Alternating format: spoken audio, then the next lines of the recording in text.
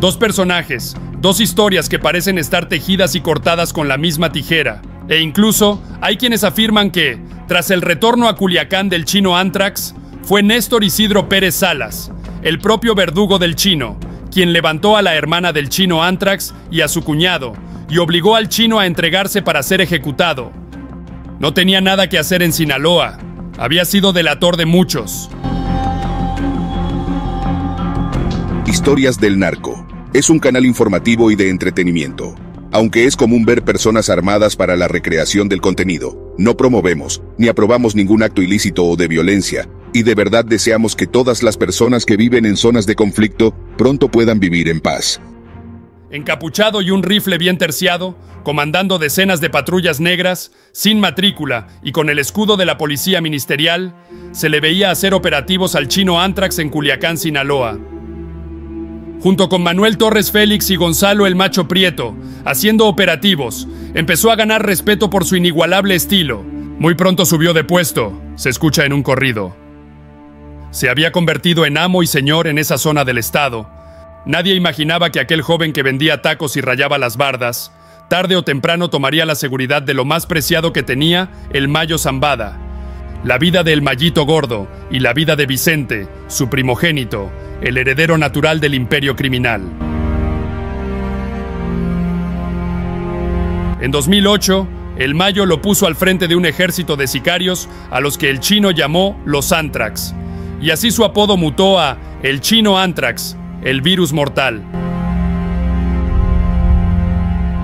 Tenía miedo de salir de Culiacán por tierra, por temor a ser capturado y quebrado.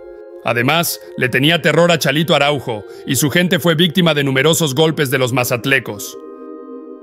Entre sus hazañas más famosas fue cuando orquestó y mandó a un pistolero vestido de payaso a quebrarse a uno de los aretes en su cumpleaños. Por lo tanto, esta organización adquirió una gran notoriedad y relevancia.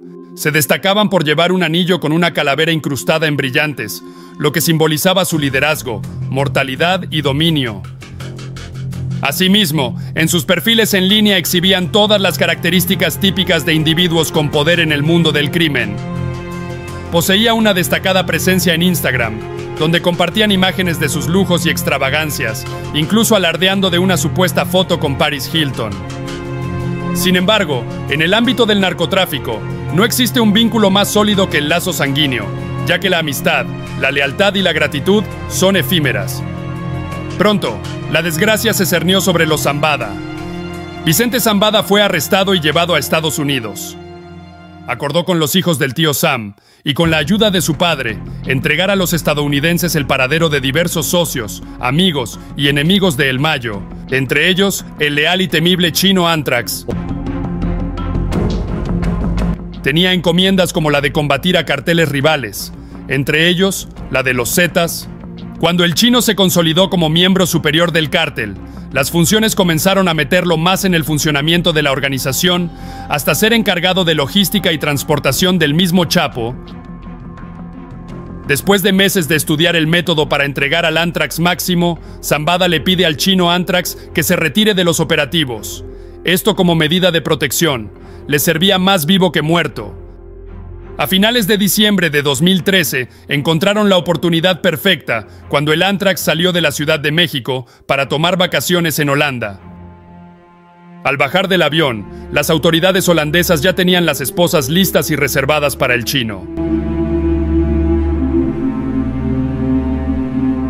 A cambio de la pronta libertad de su cachorro y primogénito, el Mayo Zambada lo entregaba a la justicia estadounidense en bandeja de plata. José Arechiga no tenía pudor en mostrar el poder que tenía. En sus cuentas de redes sociales mostraba sus viajes alrededor del mundo, sus ropas caras y todos los lujos que fanfarroneaba. Llegó a rifar carros en Instagram. Siempre acostumbraba a subir sus fotos vestido de traje, además de presumir algunas de sus excentricidades como viajes, comidas, autos, casas, entre otras publicaciones. Mandaba hacer corridos donde era descrito como el mismo diablo. Ya lo veían más como un estorbo, un narco que quería ser influencer, y fue usado como moneda de cambio.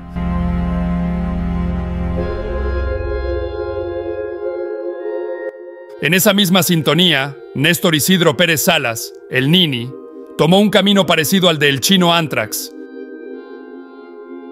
No le importó la guerra emprendida contra él y los chapitos por parte de las autoridades estadounidenses. El fentanilo y las declaraciones de los Damaso hicieron que el tío Sam le pusiera marca personal al Nini. No le importó. Siguió su vida semi-popular en las redes sociales. Escaló desde abajo como el chino Antrax en la organización, y al igual que Rodrigo, le fue confiado lo más preciado que tiene el Chapo Guzmán, la vida y la seguridad de los chapitos. Como el mismo chino Antrax, el Nini también comandó un grupo de pistoleros, a los que bautizó como los Ninis. Y al igual que Arechiga, el Nini tenía miedo de salir por tierra de Culiacán. Temía que lo capturaran o se lo quebraran. A Néstor no le importaba matar, por su crueldad, y para mantener a la gente bajo control, fue designado por los chapitos como su mano derecha. Mataba por pasión, susurraban en las calles de Sinaloa. Era popular, pero a muy poca gente le caía bien. En octubre, el Nini, por órdenes de Iván, se ensañaría con familiares de un informante gringo. Toda la familia fue ejecutada, incluido un niño de 13 años de edad. Eso provocó un revuelo en Sinaloa. Lo siguiente que viene son susurros que han estado filtrando desde el interior del cártel. Vociferan que al Nini y a la Chapiza se les olvidaba que tenían marca personal, al estado llegó sigilosamente mucha milicia, los chapitos, y su gente se fueron a esconder.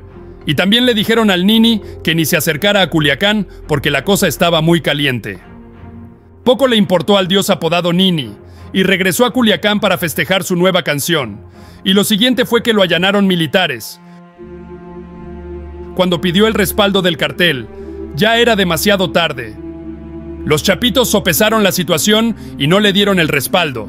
Además había estado desobedeciendo órdenes y no siguiendo órdenes exactas, simplemente calentando la plaza. Los menores dijeron que se salve solo si es tan intocable como presume. Le dijimos que no se acercara a la capital porque el gobierno estaba detrás de él. Se metió en este lío, se metió a la boca del lobo, pues que salga como pueda.